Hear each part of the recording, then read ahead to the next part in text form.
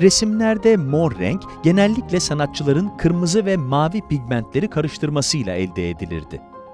Farklı miktarlardaki karışımlar, farklı parlaklık ve tondaki mor renklerin ortaya çıkmasını sağlıyordu. Peki moru meydana getiren bileşenler nasıl belirlenebilir?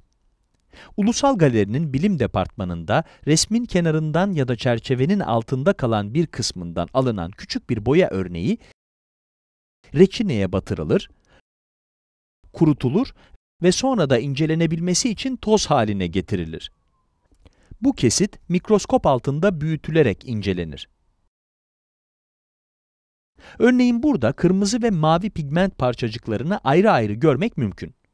Diğer inceleme yöntemleriyle daha da fazla bilgi edinebiliyoruz. Mesela enerji dağılımlı X ışınları çözümleyicisine bağlı tarayıcılı elektron mikroskobu, pigmentlerin kompozisyonu hakkında bilgi verebilir. Bu mor boyadaki mavi pigmentin içinde azurit minerali yani dolayısıyla bakır bulunduğu tespit ediliyor. Kırmızı boyada ise alüminyuma rastlanıyor. Bu aslında koyu kırmızı pigmentin karakteristik özelliklerindendir.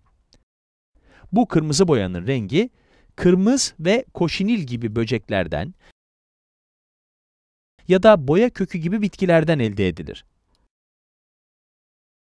Yüksek performanslı sıvı kromatografi sayesinde kırmızı boyada bu malzemelerden hangisinin kullanıldığı bulunabilir.